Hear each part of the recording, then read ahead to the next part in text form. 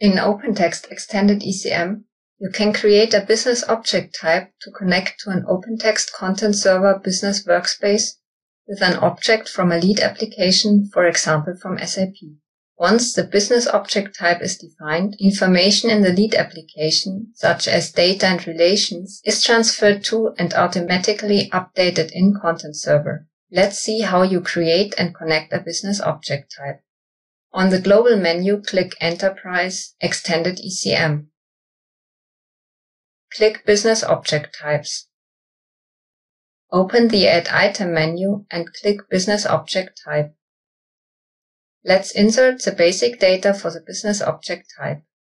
The name is used internally and helps the administrators recognize the business object type. Select a business application that was connected and configured previously. Enter the ID of the business object in the business application.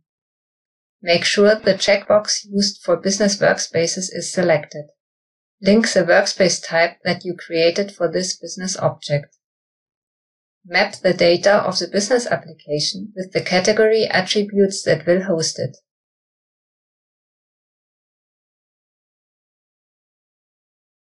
To create new workspaces from the lead application, link to the template that was designed for the business object.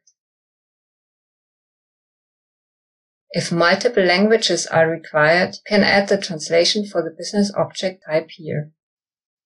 Click Save Changes. Thank you for watching.